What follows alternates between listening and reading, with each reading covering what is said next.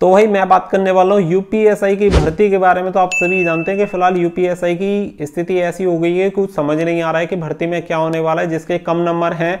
और जो डिस्कालीफाई हो रहा है, वो तो कहेगा कि भाई भर्ती कैंसिल हो जाए, जिसके बढ़िया नंबर है, उसे लग रहा है कि किसी भी तरीके से भर्ती पूरी हो जाए और जल्दी से जल्दी मैं ऐसा ही बन जाऊँ। तो अब होने वाला क्या है? एग्जैक्ट कोई नहीं जानता, भर्ती कैंसिल होगी कंटिन्यू रहेगी, क्या होगा? रिज़ल्ट जारी होगा, कब तक होगा? ये सारी चीज़ें। लेकिन कुछ चीज़ें ऐसी हैं जिन्हें आप भी जानते हैं और मैं भी जानता हूँ। तो देखिए, सबसे पहली बात तो ये कि अभी आपकी जो भर्ती कंटिन्यू रहने की, यानी रिज़ल्ट वगैरह जारी होने की और भर्ती पूरी होने की प्रबल संभावनाएँ हैं। यानी अगर मैं बात करूँ तो लगभग नाइन्टी और टेन का रेशियो लगभग है, यानी 10 प्रतिशत ही संभावना मैं कह सकता हूँ कि भर्ती में कोई रुकावट आए, अन्यथा 90 परसेंट आपकी वैकेंसी जो है बहुत ही जल्दी ये क्लियर हो जाएगी ये वाली भर्ती। साथ ही में बात आती है, देखो कट ऑफ़ को लेके तो देखिए कट ऑफ़ को लेके बहुत ज़्यादा लोग परेशान है। कुछ कह रहे हैं कि भाई, हमारे तो 110 है, सामने वाले के 120 है, इतने पे सिलेक्शन नहीं हो पाएगा, ये है, वो है। जितने हैं, उसके साथ पॉजिटिव रहो। कि भाई, आप नहीं जानते कि आपका जो क्वेश्चन की संख्या है, वो 110 होने वाली है या 120 होने वाली है। उसका रीजन देखिए, मैं आप सभी को बता देता हूँ। मान के चलिए, एक एग्जांपल दे रहा हूँ, मैं कोई फिक्स टारगेट नहीं कर रहा हूँ।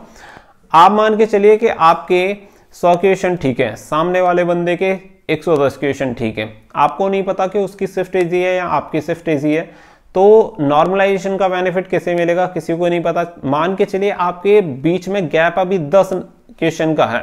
लेकिन वो 10 क्वेश्चन का भी गैप बहुत ज़्यादा नहीं है, क्योंकि यहाँ पे नॉर्मलाइजेशन की अगर मैं बात करूँ तो 10 से 12 नंबर तक आराम से इंक्रीज हो सकते हैं और 10 से 12 नंबर तक किसी के डिक्रीज भी हो सकते हैं। यानी जो 25 नंबर का गैप है वो कभी भी कवर हो सकता है। कैसे हो सकता है?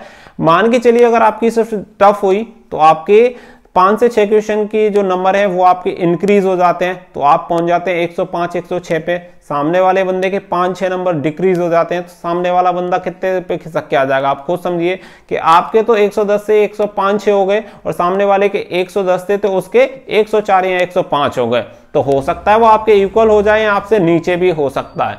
तो इस चीज़ को आप समझ के चलिए कि भाई किसी में अभी इतना बड़ा गैप नहीं है। अगर आपको ऐसा लग रहा है कि आपका सिलेक्शन नहीं हो सकता तो फिर तो भाई कोई करवा ही नहीं सकता आपका सिलेक्शन किसी भी हाल में। तो आपने जब हार मान लिया तो फिर तो कुछ हो नहीं सकता। अब देखिए, बहुत सारे लोग मुझसे कह रहे थे, भाई, तुम्हारे कितने नंबर है? मेरे तो कुल 112 नंबर है मेरे भाई। 112 नंबर मतलब 112 क्वेश्चन तो 112 क्वेश्चन है, मुझे नहीं पता होगा या नहीं होगा, लेकिन मुझे लगता है कि भाई पॉजिटिव रहो, सारी चीज़ें ठीक ही होंगी और मुझे अपने आप पर पूरा भरोसा और सिस्टम पर भी भरोसा है।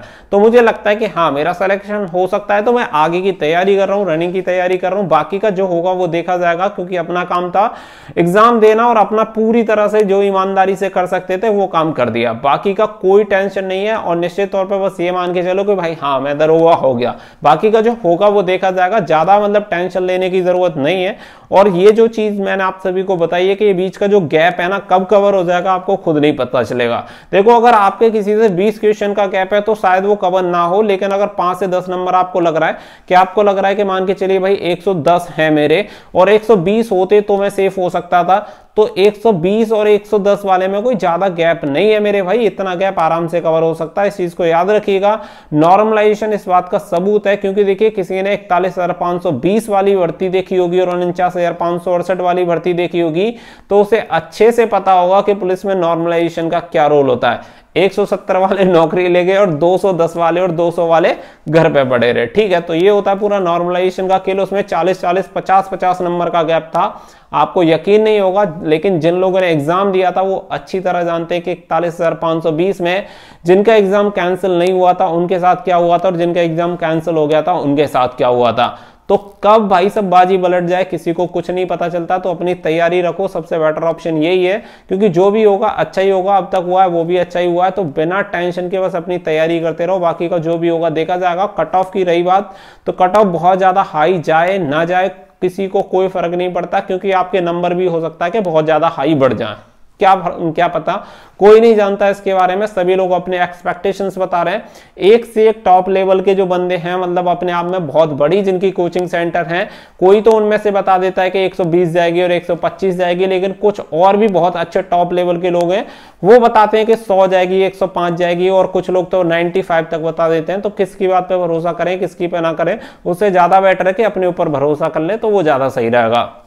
उम्मीद करता हूँ कि ये जो यूपी पुलिस एसआई वाला जो टॉपिक है, थोड़ा आप सब सबकी समझ में आया होगा और आपको थोड़ा रिलैक्स फील होगा। डेफिनेटली आपकी जो तैयारी है, वो आप अपनी तैयारी पे फोकस करेंगे। निश्चित रूप से यार आपने मेहनत किया तो आप दरोगा बन के रहोगे, ठीक है? तो चलो, फ़िलहाल के लिए बस इतना ही। So thank you for watching जय हिंद, जय भारत।